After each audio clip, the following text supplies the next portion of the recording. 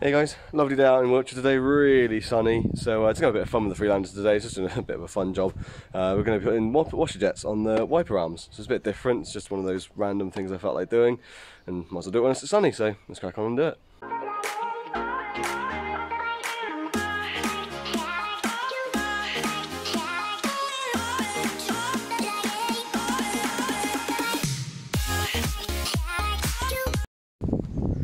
Okay, so we're here with the Freelander, bonnets up. Uh, we're just having a quick look around, sort of seeing how we're going to do it. So, these are the little uh, washer jets. So, there's sort of three jets on it.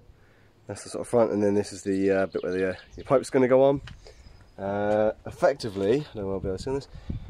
They're just going to sit here, like that, with the uh, nozzle.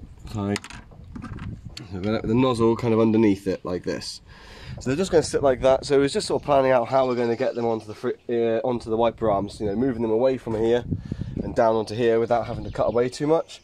I think the best plan we've got so far for what we're actually going to do is where this pipe's come up here. I'm going to keep that, you know, coming up here, and I'm going to do a small uh, cutaway into the sort of bit where the foam would normally attach.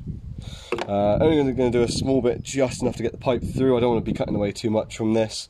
Um, so I'm going to cut away just enough to get that through and then up, and then we're going to route it up to here. I'm going to put a, a sort of T-piece section in here. I'm going to run it along underneath, and I'm going to do another small little incision here, coming up to this one.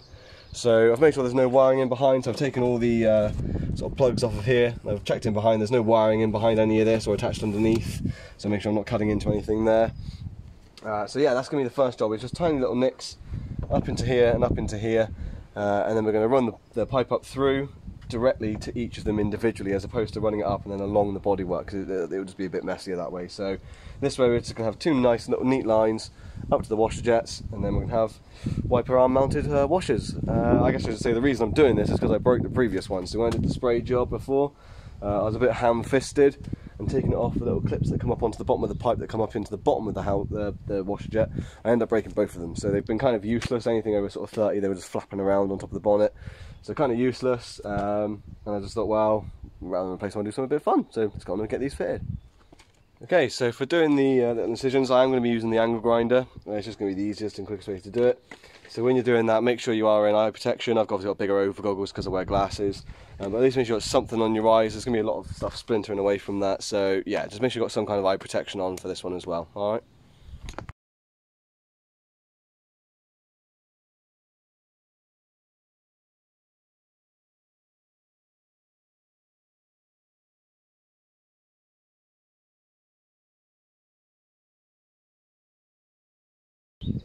Okay, so that's the angle grinder bit done. It's really quick and simple with that angle grinder.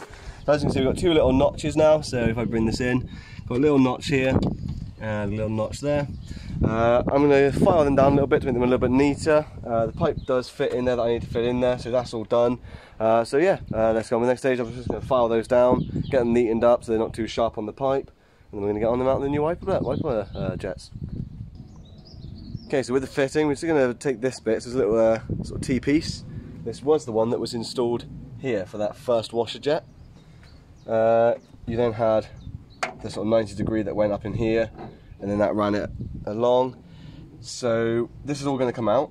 So we're going to snip this pipe sort of down here tucked away. We're going to snip it down. T-piece is going to go into the original black pipe. My new pipe is going to come off the top of it and out of the right side of it. One bit's going to come up straight to this wiper the, T-piece then will allow one more bit to run along the bulkhead and then it's going to go straight up along here. So we should only need one joiner for all of this. So it's a bit more, well, it's quite a bit more simple than what runs along there. We should just need this one little uh, T-piece and that's going to allow us to go all the way around to all the other bits. So I'll obviously go through and show you as I'm doing it, but uh, yeah, let's crack on and uh, fit the little T-piece. Okay, so my washer uh, pipe came up in behind the uh, coolant tank here. Um, there was actually a split here, which will never be helping. So I'm going to cut below that, or quite a bit below that. I'm going to restart my join there. So we're going to probably lift this up a little bit. There's pink scissors. There's the split. Just snip it like that. There might be a little bit of residue coming out uh, of the leftover fluid, but that's that bit out.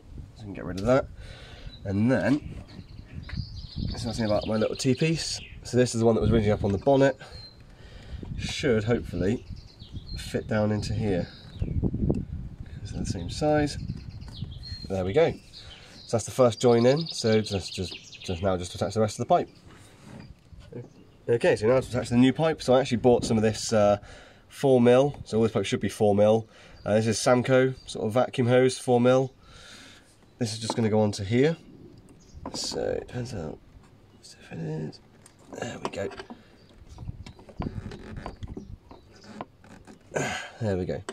So there's our nice fancy blue hose, and this is the one that's just going to come straight up through here, straight up onto the wiper arm up here. Um, I did actually buy quite a bit because it's, it's, quite cheap, but you know for what it is, it's really good value stuff. So I've bought quite a bit. So if I am a little bit short, I can cut more. But that's the one that's going to come up through here. So the next one is this one that's going to run, run along the front of the bulkhead. Okay, so the next one, again blue pipe. Going to come into this one here. Get that on there nice and tight. And I'm just going to run it along. Also when this is back up it will hide it a bit better. And then up into here, and then that is also going to run along to there. I say I think I've probably cut them ever so slightly too long, so I'd rather just trim them down a little bit than uh, have to go through the hassle of cutting off new lengths again. So they're both in there, so you can see the blue pipe's going to run along there, up into there. We only needed the one T-piece, uh, so let's go on and fit the, uh, the washer jets. Okay, so I've just had the clips on the wiper arms and I'm going to show you why now it's very important to always buy more, buy more length than what you think you need with the piping. Uh, so yeah, quickly show you why you think why it's always been really important.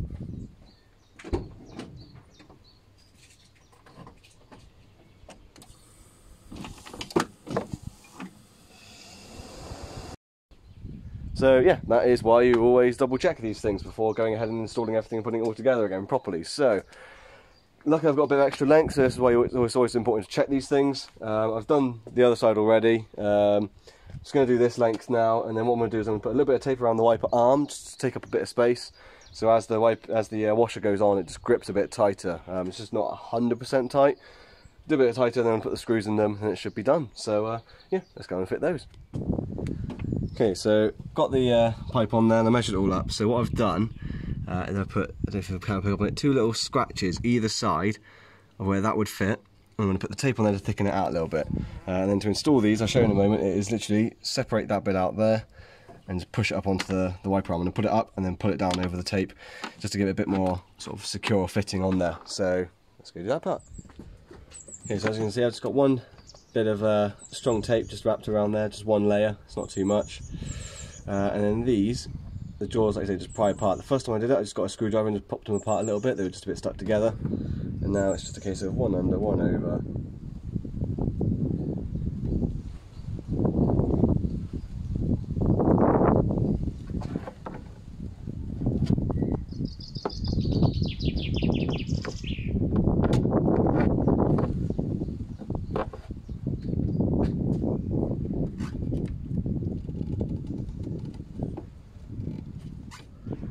Okay, so yeah, now that the clip's on, that's pretty much the, the job done. I'm going to tidy up in a moment, but as you can see, they're both mounted on there. What I'm going to do is I'm going to tidy this up in a moment and just make sure that's nice and tight to there, nice and taut. Same on the other side, but leave the slack here, as, and that will stop what happened before when it was pulling the cable off. So as long as it's got that slack in that bottom bit, you should be fine. But I'm actually going to test and see if they work now. I, I did test the jets earlier on to see if they sprayed. I just connected a separate hose up to them and sprayed through it, and they did.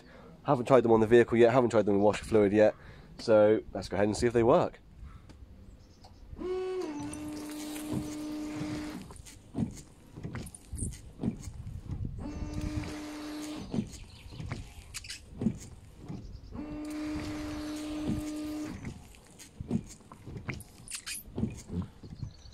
Okay, so yeah, they all work, which is great. Uh, one of the jets was slightly off on the driver's side. That's going to be easy to correct. You just put a pin in the thing, rotate it around to the angle that you want, and hey presto, there you go.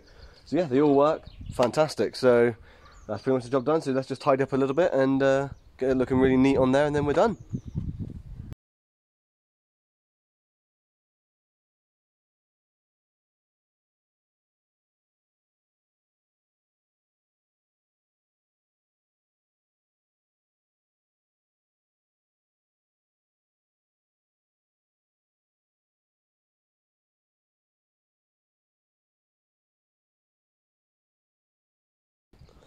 Okay, so that's it all in, all done and all fixed up and tidied up. So I've just put these two uh, back in here. Uh, so the pipe is running in behind, comes up through here. You see it kind of shows a little bit there. Uh, there's the, the split there and the split there. Comes up. And what I've done is I've just put a bit of that black tape on here uh, and then a cable tie around it for now just to hold it in place. So I've got a nice straight edge here and then the slack comes in here and gets hidden away. Same as on the other side, nice, uh, well it's relatively taut on there, tighten up in a bit in the moment. And then the slack comes in underneath. So, uh, if I just quickly put the bonnet down, give me two moments. Okay, so that's what you're left with when the uh, the bonnet is down. So like you can see, I've, uh, like I said, I've left a bit of the slack in here and in here, mostly tucked away. You know, this will sort of sit down in here. Uh, and then I've made it nice and taut on there to make it nice and smart, just using those cable ties. Uh, and then in here, these had little screws that went into the back of them. So I lift that up. Uh, where are we looking? There we go, got the little screw in there. And then we've got three jets. Got those all lined up. It's all working. So uh, I guess one more demo and then the job's done.